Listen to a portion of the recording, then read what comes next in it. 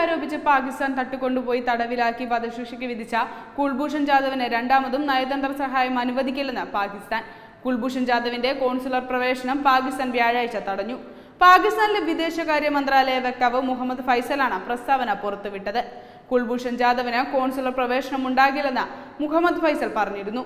Vienna കൺവെൻഷനും അന്താരാഷ്ട്ര നീതിന്യായ കോടതി വിധിന്യായവും അനുസരിച്ച് കുൽഭൂഷൺ ജാദവിന് സെപ്റ്റംബർ രണ്ടിന് പാകിസ്ഥാൻ ആദ്യ കോൺസുലർ പ്രവേശനം നൽകിയിരുന്നു.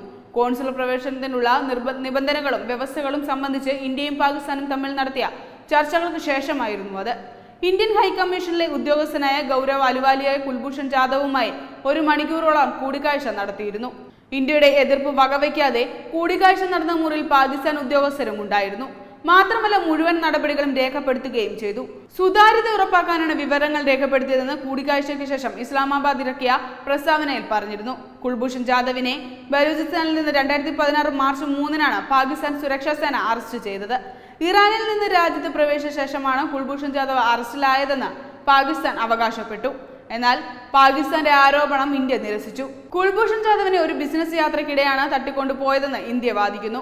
അതേസമയം കുൽഭൂഷൺ ജാദവിനെ കൊണ്ട് തങ്ങൾ മെനഞ്ഞെടുത്ത കള്ളക്കഥകൾ പറയിക്കാനാണ് പാകിസ്ഥാൻ ശ്രമിക്കുന്നതെന്ന് ഇന്ത്യ ആരോപിച്ചിരുന്നു.